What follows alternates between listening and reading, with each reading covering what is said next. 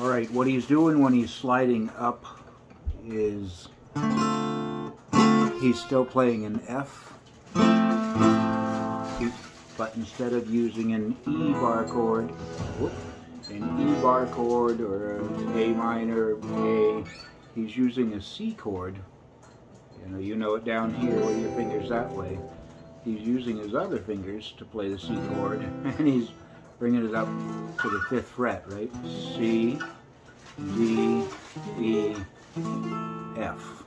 And he's only using two fingers out of that to play that. Without distortion, it sounds very happy on an acoustic guitar, but either way, that's a bar across the fifth fret, and essentially, it because he's only using two fingers, it ends up being an A7 uh, form that he's using, A minor 7. And he, so he's going uh, first fret above the bar on the B string and second fret above the bar on the D string.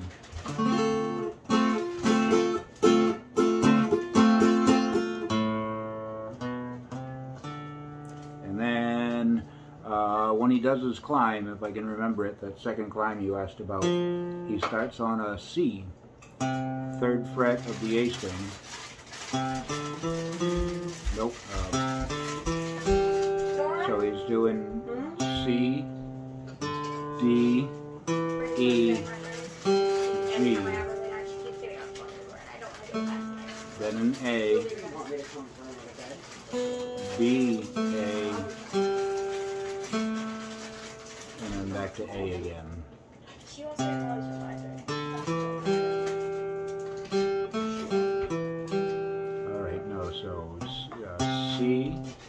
C again,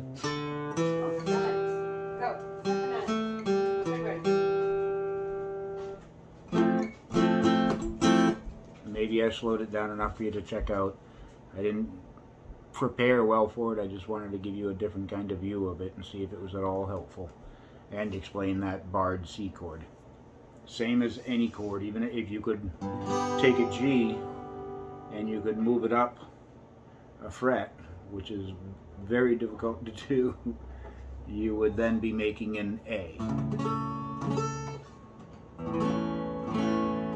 Just like if you're taking an E and you move it up, you end up with your F because there's only that half step between, then up to a G and up to an A. An A, if you move that up, you get your B flat, your B, your C, your D, and then with his C, we play there.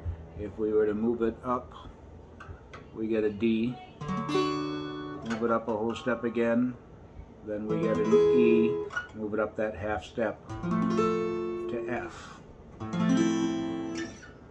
Whatever chord you want to do it with, an open chord, whether it be a C, a G, an A. A D does the same thing. If you're playing a D and you move it up to here, now you're playing an E. There's an F. There's a G. Anyhow, good luck.